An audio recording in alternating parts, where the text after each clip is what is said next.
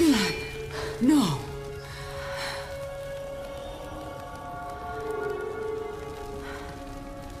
The sword is not meant for you.